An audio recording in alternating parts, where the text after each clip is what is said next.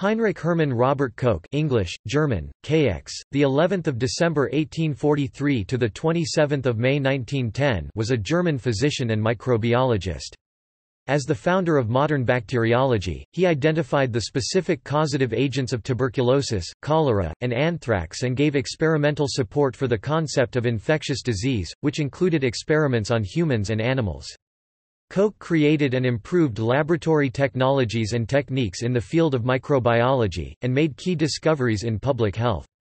His research led to the creation of Koch's postulates, a series of four generalized principles linking specific microorganisms to specific diseases that remain today the gold standard in medical microbiology. For his research on tuberculosis, Koch received the Nobel Prize in Physiology or Medicine in 1905.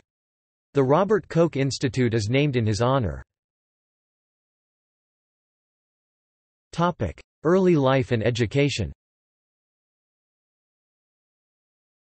Koch was born in Clausthal, Germany, on the 11th of December 1842 to Hermann Koch (1814–1877) and Matilda Julie Henriette (née Biewend, 1818–1871). Koch excelled in academics from an early age. Before entering school in 1848, he had taught himself how to read and write. He graduated from high school in 1862, having excelled in science and math. At the age of 19, Koch entered the University of Göttingen, studying natural science. However, after three semesters, Koch decided to change his area of study to medicine, as he aspired to be a physician. During his fifth semester of medical school, Jacob Henle, an anatomist who had published a theory of contagion in 1840, asked him to participate in his research project on uterine nerve structure. In his sixth semester, Koch began to conduct research at the Physiological Institute, where he studied the secretion of succinic acid, which is a signaling molecule that is also involved in the metabolism of the mitochondria. This would eventually form the basis of his dissertation. In January 1866, Koch graduated from medical school, earning honors of the highest distinction. Career Several years after his graduation in 1866, he worked as a surgeon in the Franco-Prussian War, and following his service, worked as a physician in Wollstein in Prussian Posen now Wolsztyn, Poland.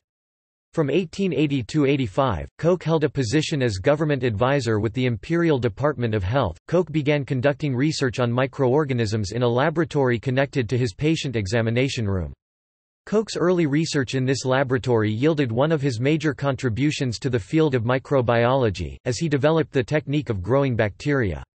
Furthermore, he managed to isolate and grow selected pathogens in pure laboratory culture. From 1885 to 1890, he served as an administrator and professor at Berlin University. In 1891, Koch relinquished his professorship and became a director of the Prussian Institute for Infectious Diseases, which consisted of a clinical division and beds for the Division of Clinical Research. For this he accepted harsh conditions. The Prussian Ministry of Health insisted after the 1890 scandal with tuberculin, which Koch had discovered and intended as a remedy for tuberculosis, that any of Koch's inventions would unconditionally belong to the government and he would not be compensated. Koch lost the right to apply for patent protection. Research Isolating pure bacterial cultures In an attempt to grow bacteria, Koch began to use solid nutrients such as potato slices. Through these initial experiments, Koch observed individual colonies of identical, pure cells. He found that potato slices were not suitable media for all organisms, and later began to use nutrient solutions with gelatin. However, he soon realized that gelatin, like potato slices, was not the optimal medium for bacterial growth, as it did not remain solid at 37 degrees Celsius, the ideal temperature for growth of most human pathogens. As suggested to him by Walther and Fanny Hesse, Koch began to utilize agar to grow and isolate pure cultures, because this polysaccharide remains solid at 37 degrees Celsius, is not degraded by most bacteria, and results in a transparent medium. Koch's four postulates During his time as government advisor, Koch published a report, in which he stated the importance of pure cultures in isolating disease-causing organisms and explained the necessary steps to obtain these cultures, methods which are summarized in Koch's four postulates. Koch's discovery of the causative agent of anthrax led to the formation of a generic set of postulates which can be used in the determination of the cause of most infectious diseases. These postulates, which not only outlined a method for linking cause and effect of an infectious disease but also established the significance of laboratory culture of infectious agents, are listed here. The organism must always be present, in every case of the disease. The organism must be isolated from a host containing the disease and grown in pure culture. Samples of the organism taken from pure culture must cause the same disease when inoculated into a healthy, susceptible animal in the laboratory.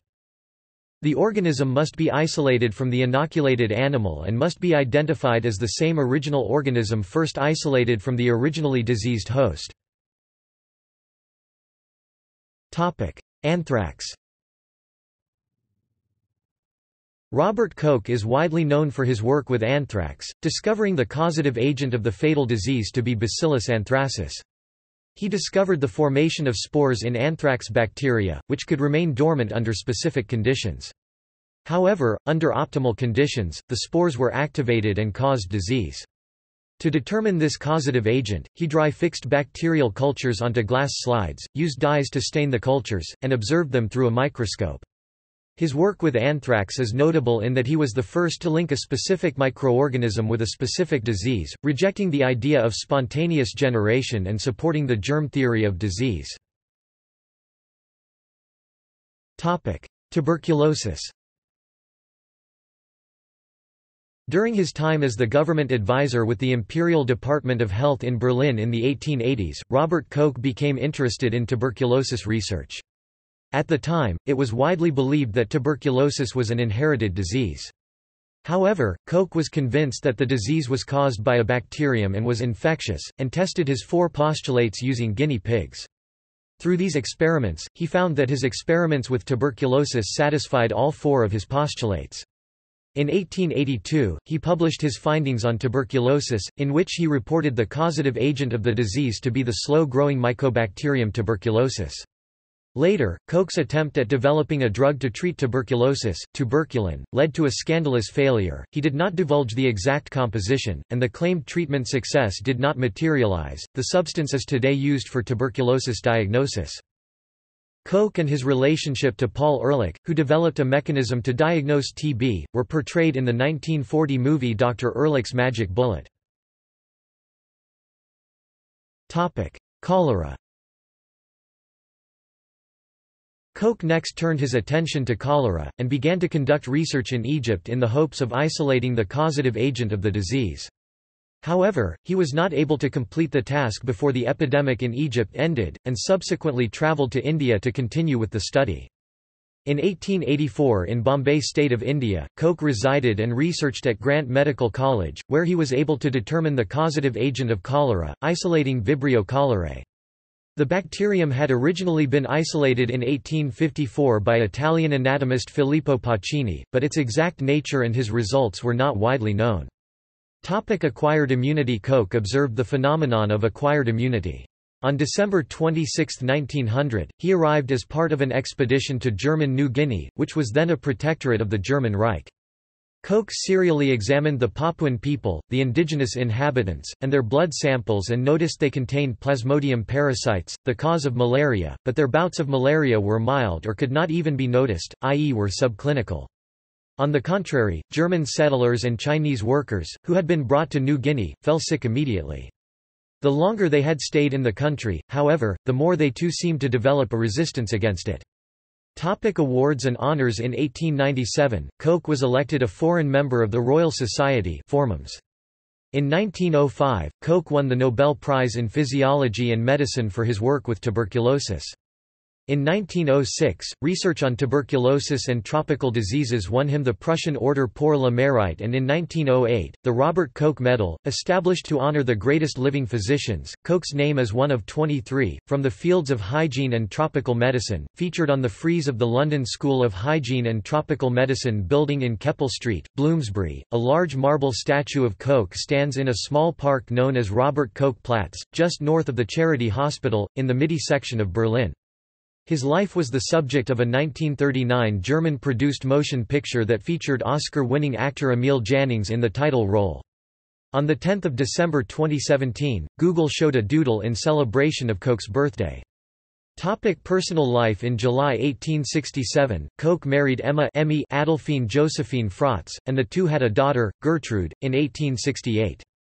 Their marriage ended after 26 years in 1893, and later that same year, he married actress Hedwig Freiberg (1872–1945). On the 9th of April 1910, Koch suffered a heart attack and never made a complete recovery.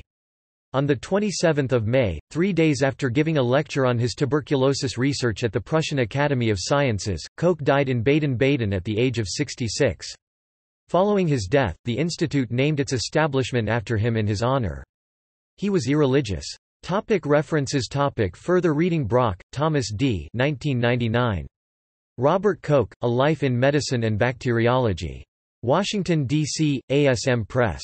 ISBN 978-1-55581-143-3. OCLC 39951653. Morris, Robert D. 2007. The Blue Death, Disease, Disaster and the Water We Drink. New York, Harper Collins. ISBN 978-0-06-073089-5. OCLC 71266565. Gradmann, Christoph 2009. Laboratory Disease, Robert Koch's Medical Bacteriology. Baltimore, Johns Hopkins University Press. ISBN 978-0-8018-9313-1. Weindling, Paul. Scientific Elites and Laboratory Organization in Fin de siècle Paris and Berlin, the Pasteur Institute and Robert Koch's Institute for Infectious Diseases Compared, in Andrew Cunningham and Perry Williams, eds. The Laboratory Revolution in Medicine Cambridge University Press, 1992 pp. 172–88.